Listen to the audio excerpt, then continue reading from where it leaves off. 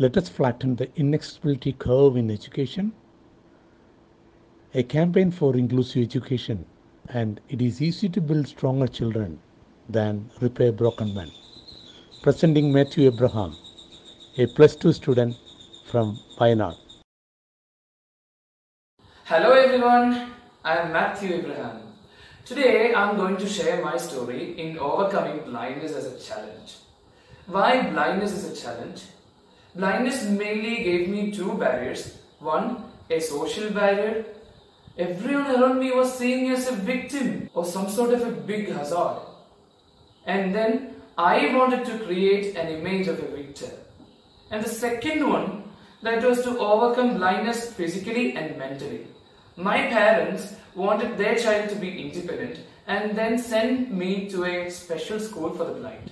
When I reached there, the teachers and the community around there gave me many, many, many promises to walk, to read, to write, to explore, to come to the mainstream society. But all these are yet to be fulfilled. Why? I must call it a blind school. Because everyone there was blind. Why? They couldn't see my vision, they couldn't see my ambition, they couldn't recognize my passion, and they couldn't give me anything. And when I'm seeing through technology, as if you can see, I can read, I can write, I can explore, and I can do my things myself. I am proud to present myself as an independent person who is working hard, who is striving hard to make a wonderful career. In my 8th grade, when I was competing with the CBSE students, I recognize the fact that a primitive system like Braille is not just enough to write down. And my duty in my class was to go to the teacher and ask, Madam, could you repeat it again? And to run to my friends and ask for their help. And please help me to do that and this and all. Now, I have a sense of self-esteem. I am proud to present myself as an independent person. And my parents, they wanted to send their child to CBSE just because they knew that without English language, without proper mathematics, without proper science, I would not be able to do anything in my life. And then after that, uh, I scored 91 percentage in my 10th grade and was a good student. I was the best outgoing student of my institute. And I recognized the fact that being blind can't restrict your life in any manner. Then the second topic, the role of inclusive education. Actually, when I turned blind of a sudden, everyone around me was seeing me as if a victim. When my parents decided to send me to the normal sighted school and to send me to the sighted society, built by the sighted for the sighted, everyone around me could recognize and inclusively accommodate me in my differences. That in my classroom, I was using my laptop and my smartphone for writing and reading, and they were using their notes and pens. Now the third point arises, that is to cut off differences. And that's what Chakshumathi is doing. So, the major change that COVID-19 had brought to the world is that to have online education, to have accessible education. And that had literally cut off differences between me and the world. What I'm doing is similar to that, what the world is doing. Today, the scene had changed a lot. With the advent of technology, I am using laptops and mobile phones in my classroom for learning, and I am browsing thousands and thousands of academic material, including world classics, for gaining a great knowledge base.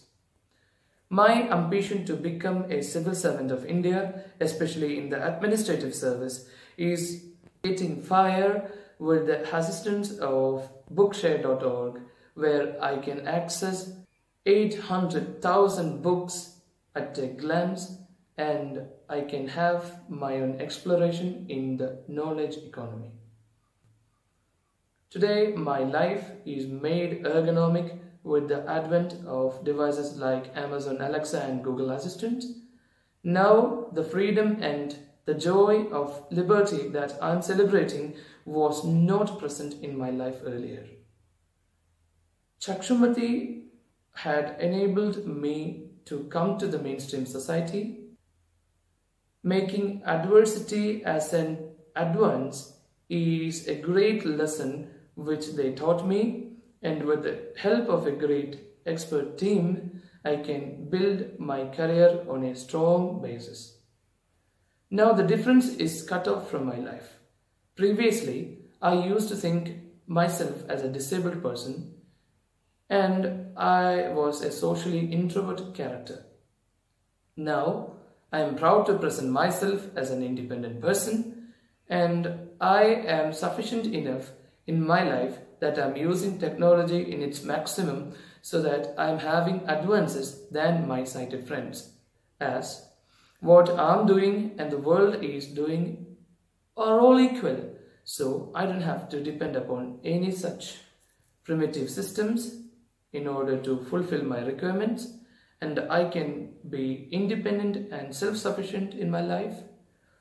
Now, the COVID 19 had brought a situation that the world must go accessible and online for education and all other purposes of life, where I am meeting up my potential and requirements.